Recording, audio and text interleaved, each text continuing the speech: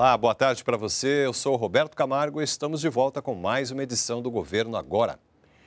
O Ministério da Saúde atualiza hoje a situação nacional sobre o novo coronavírus da China.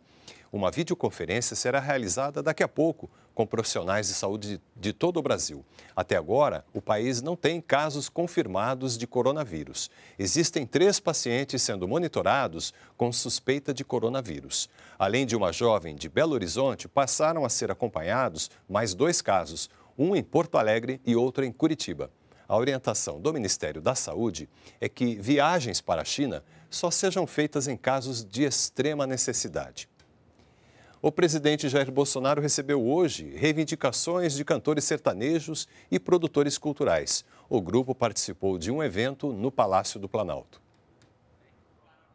A cerimônia recebeu cantores sertanejos de todas as gerações. O Salão Nobre do Palácio do Planalto ficou lotado. O clima era de festa, mas os artistas e produtores de eventos vieram ao Palácio do Planalto nesta quarta-feira para falar de coisa séria. Eles trouxeram reivindicações para o setor que movimenta bilhões de reais no país. Meia entrada em eventos, os direitos autorais e questões trabalhistas são as principais reclamações. Os direitos autorais, o Instituto da Meia Entrada e as questões trabalhistas, três dos principais pilares que tomam é, o nosso dia a dia enquanto voz dos produtores de evento e que dificultam, sem dúvida, a gente avançar no desenvolvimento desse nosso setor. Nós precisamos evoluir, modernizar e avançar também nesse tema.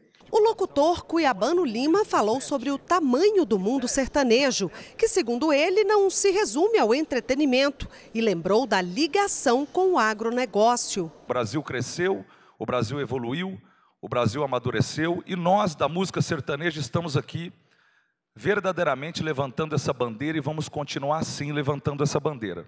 O presidente Jair Bolsonaro lembrou de que, ainda muito novo, na década de 60, já ouvia o sertanejo. Segundo ele, a música fez parte de sua formação.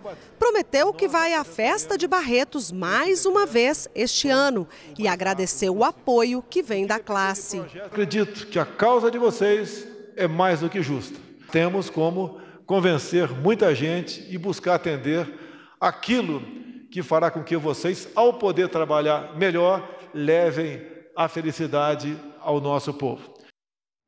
A gente fica por aqui. Você pode nos acompanhar também pelas redes sociais. Nos vemos na próxima edição. Até lá. Tchau.